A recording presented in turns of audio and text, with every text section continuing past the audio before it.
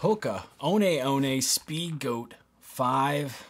First impressions, let's get into it right now. So, if you've been watching this channel for any amount of time, you know I am a huge Speedgoat 4 fan. I have almost 600 miles. I finally uh, retired these Speedgoat 4s. They were covered in mud from the last race. They were actually retired before that last eight hour race. And because it was such a sloppy, muddy mess of a race, I didn't want to kind of ruin any of my other shoes. So I wore this shoe. And even after 600 miles, the lugs on this thing were still holding tight, didn't have any issues. And uh, even though it is feeling a little crushed out, uh, I still think I could probably use this on some shorter trail runs just to keep the mileage off the newer shoes. So for this kind of comparison of the Speedgoat 4 to the Speedgoat 5, I bought myself another Speedgoat 4 brand new. And, well, it's going to be a good shoe to have to race anyways because the Speedgoat 4 is a phenomenal shoe. I was using this as a backup just in case the Speedgoat 5 was a bust. Luckily, my initial run in the Speedgoat 5 was successful. It's a fantastic shoe. Uh, there is no real noticeable difference between the shoes, and any noticeable difference so far have been uh, only good things. There's nothing that I've noticed that is like, wow, I really wish they didn't do that. So First and foremost, what I noticed right off the bat is putting my foot in the shoe, and this is going to be a little hard to explain. In the Speedgoat 4, I always felt like there was some sort of not posting, not like they had support out here, but this lateral part of this shoe always felt like there was something there. Now, I didn't notice it when I was running, but when I put my foot in there, it always felt like I had a little bit more support in this area. For some reason, and even in the new shoe, it felt the same exact way. So I felt a little more pressure uh, right behind the pinky toe where that, that joint is, that knuckle. Uh, did not feel that at all. So this Speedgoat 5 really felt a little bit more flatter and I didn't have that same sensation. And secondly, I noticed right off the bat, obviously, this is much different than the little pull tab on the back of there. Uh, didn't notice it uh, as good or bad or anything like that. People said they felt pressure here on their Achilles tendon. I never felt that. So this is kind of a, a neutral thing to me. Didn't feel any difference. The other thing I felt right off the bat is the change to the tongue. This was something I always noticed in the Speed Speedgoat 4. So you can see how that's pretty pretty much straight across. There's a little bit of an indentation where they kind of shaped the tongue. This was phenomenal. While I never had a major issue with this, it was always kind of awkward. It never rubbed me raw or anything like that. The next thing that I noticed was right here on the outside. Now they have this little mesh area that allows the shoe to flex. Now I don't know if they did that because people were complaining that the there was not enough room in the toe box of the shoe.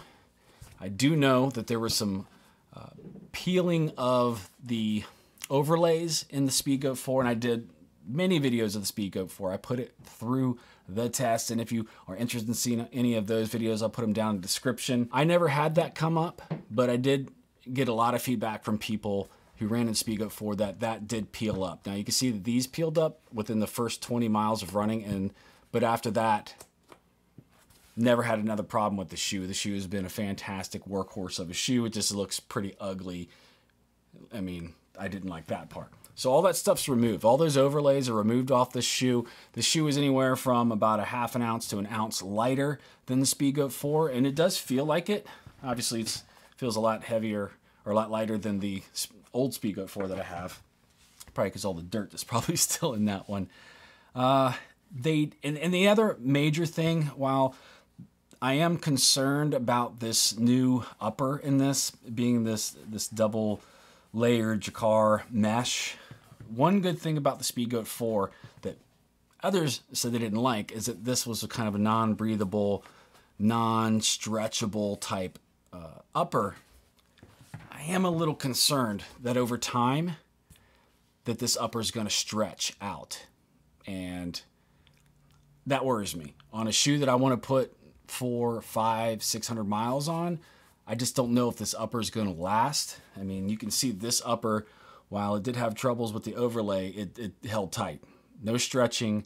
I never had any issues. It never folded in any way that rubbed my foot. Uh, so that leads me to the last part of the impression of this shoe. Again, this was just an initial impression of my first run in the shoe. Felt super comfortable right off the bat. Felt really comfortable on my foot, but because I just bought a brand new Speedgoat 4 and had been running in it the day before, I could immediately feel, while they say there isn't a difference, I mean, the stack height's the same, everything's the same, they have changed the lug pattern a little bit. The bounce in the shoe is not the same. I thought I was imagining it. Running in the Speedgoat 4, I can feel the responsiveness in the shoe. It's a uh, you know max cushion shoe, so it protects me on these really rocky trails. That's what I love about the shoe. Virginia has really rocky trails. Will just tear the bottom of your feet up, and these it protects you from those roots and and and rocks sticking protruding out of the ground that will tear the bottom of your foot up. I think the Speedgoat 5 is going to do the same thing, but it doesn't feel as springy. While it does give you the same cushion, it doesn't have the same responsiveness to me. And again, I'm a 210 pound runner, and this shoe feels really responsive, really squishy, responsive shoe. The Speedgoat 5 just doesn't feel that way. It's a great shoe. I'm going to love the shoe. I can't wait to, to race in the shoe. It's lighter, which is going to be fantastic. So that's a concern to me that it doesn't have that. So I'm hoping that the the midsole of this shoe holds together as well as the Speedgoat 4 because this shoe has held together very well. You can see minimal kind of crushing out of the shoe. It's still providing a lot of cushion in it. Because they did change the compound in this shoe, I am worried about the durability of it. I am worried about it just because right off the bat it doesn't have the same responsiveness. I'm worried about the durability of this upper. While it's going to be more breathable, more comfortable, it doesn't have the overlays peeling up, whereas it's really that's cosmetic, so it wasn't that big of a deal. I am worried about the stretching out of this upper over time. So we'll see. I will definitely keep you updated. Uh, I think I did four reviews of the Speedgoat 4 because, you know, things could change. They could be awesome right off the bat, the first 50 miles, first 100 miles, but when you get two, three, 400 miles, which you should be getting out of your Hokas, these max cushion shoes should be giving you at least 400 or more miles. We'll see what the Speedgoat 5 does. I'm hoping it does well. I'm hoping it does well because it is more expensive. I think it's 10 more dollars than the Speedgoat 4.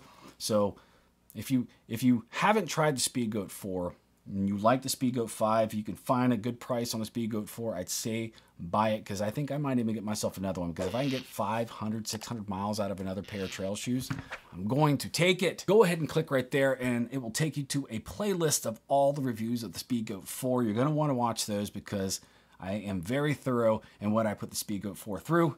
I'm going to do the same thing with Speedgoat 5. Go ahead and click right there. I'll see you in the next video. Thanks for watching.